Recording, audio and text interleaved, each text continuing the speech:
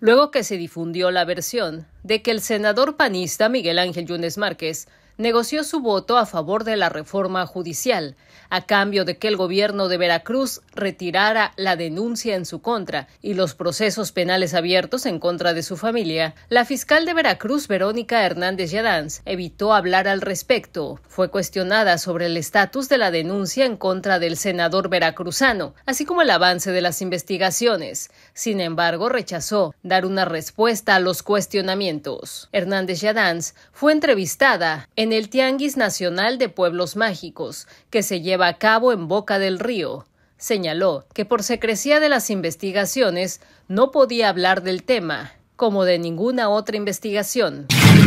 Por secrecía yo no puedo dar información al respecto.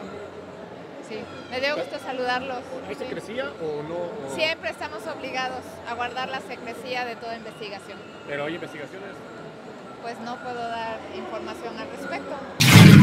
Cabe mencionar que Miguel Ángel Yunes fue denunciado por la Fiscalía General del Estado por los delitos de documentos falsos, falsedad ante la autoridad y fraude procesal, cometidos cuando presuntamente presentó información falsa para acreditar su candidatura a la alcaldía de Veracruz en 2021. El martes, Yunes Márquez votó en favor de la reforma judicial, contrario a la votación de los senadores de su partido. Con ello dio la mayoría calificada que requería Morena y sus aliados para que pasara adelante dicha iniciativa. Con información de Víctor Toriz, Imagen del Golfo.